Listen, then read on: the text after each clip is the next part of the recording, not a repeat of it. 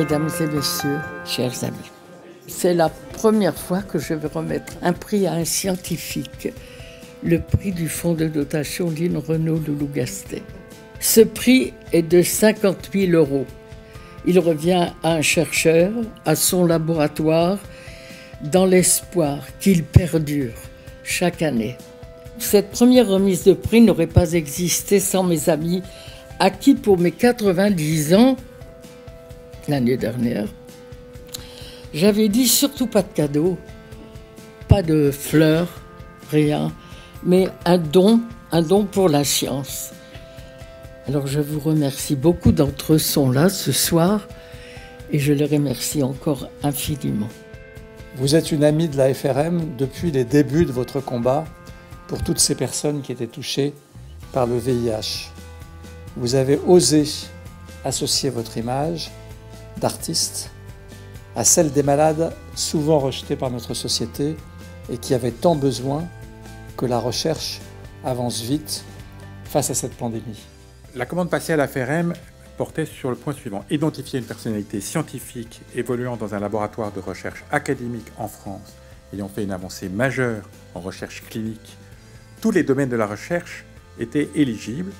Je vais appeler à mes côtés le lauréat. Il s'agit de Guillaume Cano.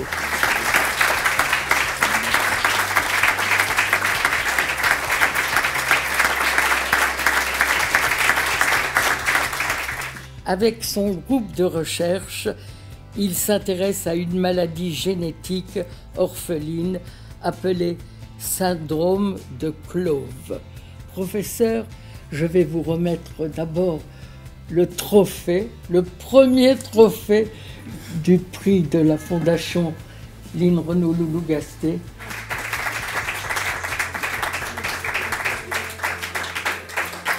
Ce prix représente l'accomplissement d'un travail d'équipe où la recherche et le soin ont avancé main dans la main. Nous resterons marqués pour toujours par certaines scènes de ces dernières années. Je pense aux premiers résultats obtenus chez Emmanuel, notre premier patient traité, lorsque nous l'avons vu changer d'apparence, progressivement perdre du poids, gagner en qualité de vie. Ou encore la première consultation de Zoé, que nous ne pouvions approcher tellement elle était douloureuse et effrayée. Puis en quelques semaines, l'effet magique du traitement, avec une fonte de ce bras trop volumineux et douloureux, et maintenant une petite fille qui a pu retourner à l'école et qui n'a plus honte d'aller à la piscine. Cherline, ce prix illustre également votre immense générosité et votre soutien indéfectible pour faire avancer la recherche en France. Vous l'avez compris mieux que quiconque, le nerf de la guerre en recherche reste son financement. L'IN ne supporte pas les inégalités, l'IN ne supporte pas l'injustice. Et dans le domaine du, sida, en fait, quand on lutte contre le VIH-sida, on lutte aussi contre les injustices, on lutte contre ces inégalités. Alors le projet, effectivement, que SIDAction va pouvoir soutenir euh, grâce à ce don, l'IN, il va dans ce sens. C'est soutenir euh, une association, Horizon Femmes. Horizon Femmes va permettre de faciliter euh, l'accès au dépistage, l'accès à la prévention, l'accès aux soins à des professionnels du sexe au Cameroun.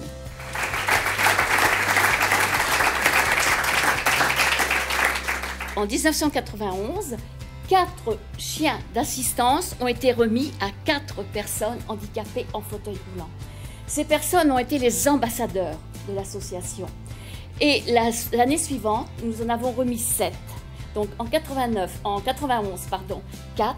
Ensuite l'année suivante, 7. Puis 21, puis 45. Et maintenant 150 chaque année. Et le voilà, le petit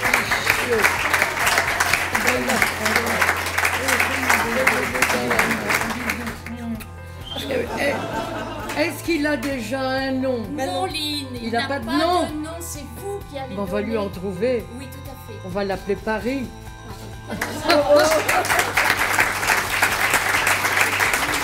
Il y a des événements dans la vie qu'on ne peut pas rater, des événements qui doivent, quoi qu'il arrive, trouver leur place dans l'agenda d'une ministre. Et cette soirée en fait partie. Cette soirée, c'est celle de la générosité et celle du combat, au service de causes qui méritent tout notre engagement, et vous pouvez compter sur le mien sans faille. Je voulais euh, donc être avec vous parce que ces trois causes sont des causes essentielles. Elles concernent des millions de personnes. Et donc je voulais être présente pour remercier Lynn, pour vous remercier tous d'être là, mais surtout vous Lynn, pour être ce que vous êtes et faire ce que vous avez fait depuis tant d'années, faire du bien. Merci.